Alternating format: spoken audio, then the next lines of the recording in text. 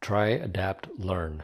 In this video, we will try to reset the ABS, VSC, and brake system warning lights. If you haven't already subscribed to our channel, please subscribe now. This video is intended for entertainment purposes only on how the warning lights were reset for this specific vehicle. This video should not be used to define why these warning lights are occurring in any vehicle other than the one in this video. As a reference, the ABS warning light refers to the anti-lock braking system. The VSC warning light refers to the vehicle stability control system. The brake system warning light refers to the electronically controlled brake system. The vehicle may be displaying these lights due to a malfunction, need of maintenance, or need of replacement of brake system components. This would include ABS pumps or actuators, brake fluid, and other braking system components or sensors. For this vehicle, the procedure to troubleshoot the cause of these lights displaying was begun with connecting a code scanner to the OBD2 port. After two attempts, the scanner displayed no powertrain code saved in the vehicle's computer. The next step of the procedure to troubleshoot the lights was to check each of the ABS fuses in the 12 volt electrical fuse box. None of the fuses showed any damage which would be indicated by a break in the metal housed in the plastic case.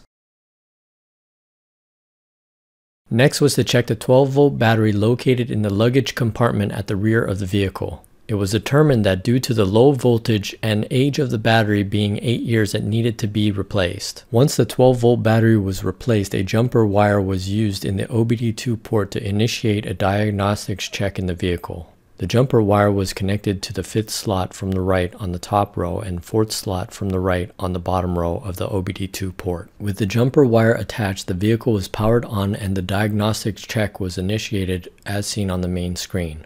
Once the diagnostic check completed with multiple OK status reports displayed on the screen, the vehicle was powered off after waiting a few seconds. When the vehicle was powered off and all lights were off, the jumper wire was removed from the OBD2 port. With the jumper wire removed from the OBD2 port, the vehicle was again powered on.